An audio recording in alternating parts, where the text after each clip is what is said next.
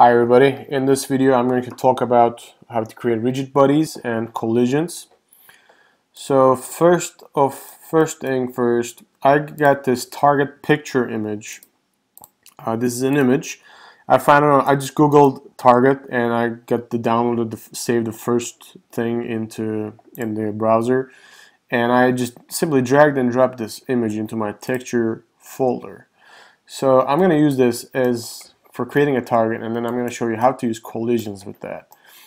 Um, right now I'm going to create a 3D cube and this cube will be uh, let's say it's going to be 2 by 2 maybe let's make it 3 by 3 and 0.5 3 3.5 and I'm going to drag and drop this target image on this cube now, never mind this part, but it kind of looks like a target object, right? And so our goal is going to be to shoot at this object. And when we shoot this object, it's going to react to some collisions. And before also we can shoot anything, we need to create a uh, bullet object that which is a rigid body. So I'm going to create a 3D object sphere Right, and this sphere is going to be something that we're going to be shooting from our from the soldier's gun. Right now it's too big though. It, you can't you can tell that this can't come out this weapon. So I'm going to make the make it 25 25.25 and now it's more like a bullet um, more like a musket to be honest and this is going to be our object now I will add component, you can edit from here, or you can also go to component, physics, and rigid body. Now, what is a rigid body? Basically, a rigid body is a component that uh, makes the object that is attached to susceptible to physics events and collisions and gravity and such things. Okay, so we're gonna need rigid body on this thing for the for, for part of uh, collision detection. Now I'm gonna put it here so you guys should see. Now if you add rigid body, you see this sphere is here and play the game.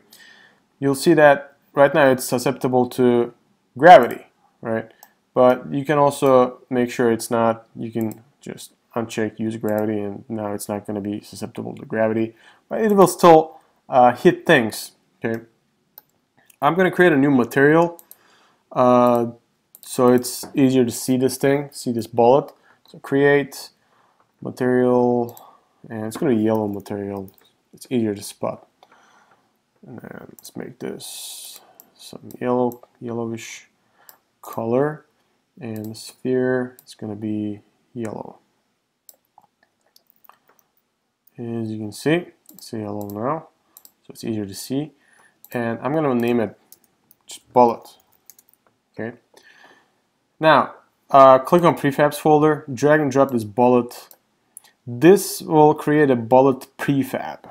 Now, a prefab is something that you might want to use repeatedly. You might want to create multiple instances of some object. Since we're going to be shooting more than one bullet, there's going to be multiple instances of a bullet. And we don't want to create everything from scratch. We want to now this way we have a blueprint. Every time you need it, you can just create it through scripting. Now we don't need this one in the in the scene anymore, so I'm going to right click, delete. Let's go to the player control, double click script, script, open up script, player control, and add a public rigid body uh, bullet. Bullet field. So this will actually create a field that will take a rigid body and go to prefabs and drag and drop the bullet here. Now we're gonna have a method called void shoot and in this method we're gonna shoot a bullet every time the mouse button is clicked. So if input dot get mouse button down, 0. Uh, what this go is going to do is that it's going to detect the uh, mouse click buttons, mouse but button, when you click the mouse button with the left button. So 0 is for the left button, 1 is right button, okay? And whenever that is clicked, we're going to actually instantiate a, a bullet. We're going to create an instance of the bullet rigid body. So since it's a, it's a rigid body type, we're going to go with a rigid body bullet equals instantiate. So this method is used to create uh, clones of objects. So first, um, the first parameter is the ob actual object you're creating. So it's this bullet. And then where do you actually create it? And where actually it, which way it faces. Uh, one thing we have to add, we need to add a um, transform. Let's say, let's call this barrel, transform barrel, right? And so this is like the barrel of the gun.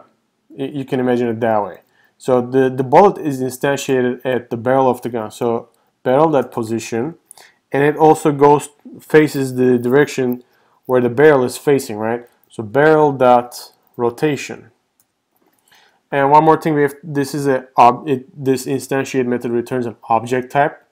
Uh, we have to cast that into rigid body, so as rigid body.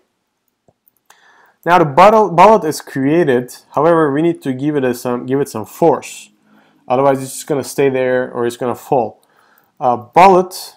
uh, let's add here a public float uh, projectile or just bullet speed.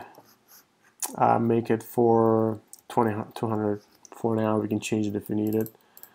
Speed 200 and bullet dot add force so the bullet is going to be going forward right? So it's, it's going to go bullet dot transform so the bullets forward transform that forward multiplied by bullet speed and a force mode um, force mode dot impulse so adds instant force impulse to the rigid body using its mass so this is useful for creating uh, shooting projectiles now unless you put the shoot method inside the update, it's not gonna shoot anything. Okay, now let's go back and see how this works. Rigid body. Uh, before we can actually shoot it, as you can see, we need a barrel. So for now, I'm gonna just put the barrel in front of the soldier. So create empty, let's call this barrel, and then we can move it to the towards to the gun later. So it's to be 1.5 maybe 1.8 is better. And it's to be a little bit further so it's to be coming out of the gun right and then choose the player now drag and drop the barrel into the barrel slot here now let's see how this is going to work yep he's shooting. Uh, he's shooting, but it's going too fast. So I'm going to make the bullet speed maybe 100 and see how it goes now.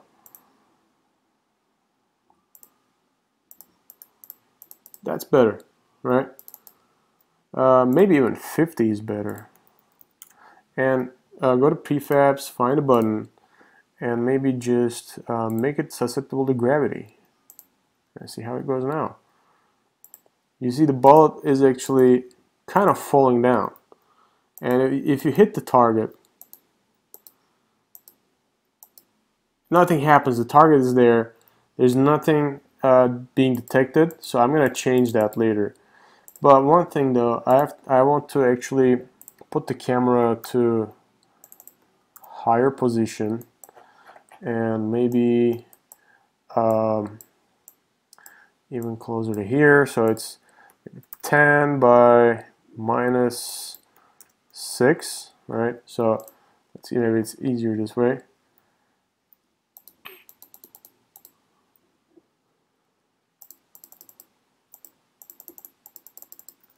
Okay, now, so this is one way to go. Or you can actually uh, disable the script by unchecking this checkbox. And then you can actually uh, put the script inside the player. So now this camera is the player's uh, child object and you can actually, it will actually move with the player. So you might want to prefer this way, playing this way. Now I want to start detecting collisions. Uh, for that, I'm going to add this, a rigid body, before I do that. Rigid body. And let's see what happens when I shoot this now. You see, the target just goes away. Um, I'm going to, but I don't want this to just fly away with the bullets. I, instead, when I shoot the target, the target should just uh, go down you know. So I'm gonna uncheck the gravity. I'm gonna make it is kinematic, and uh, I'm gonna create a new script. Create script. Detect. Actually, just say it. Target. Target object. Now, I will call the method void on collision enter. This is a method that is called when there's a collision happens. It takes a collision parameter. This is a built-in Unity event. Uh, collision. Now we're to check if the colliding object has a tag bullet, then if that's the case, we're going to just rotate this object.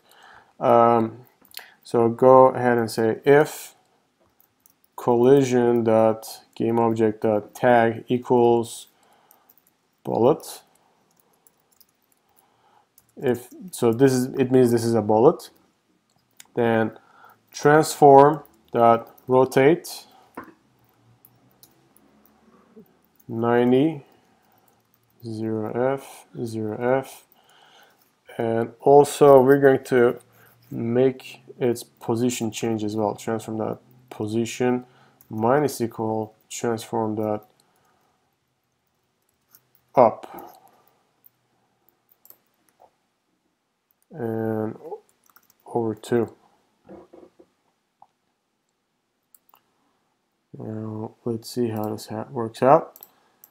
Uh, before we can actually work this out, uh, click bullet, go to tag, and right now it doesn't have a tag, so add tag, and new one, bullet, and again choose the bullet, and now make give it a tag. It, it has a bullet tag now. And this target object needs a script, target object script. So now it's going to be detecting the bullets.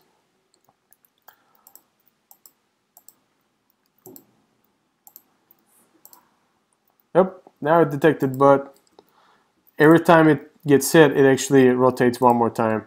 So maybe do it this way. Let's put a boolean variable, uh, private bool is hit. So at the beginning it's false, but once it's hit, it's going to be true. And this is this code will run only if actually let's do it this way. Only if if is hit is false. Okay. So that way you can only hit it once. That's it so that's how basic collision works. In the next video, we're going to work with triggers.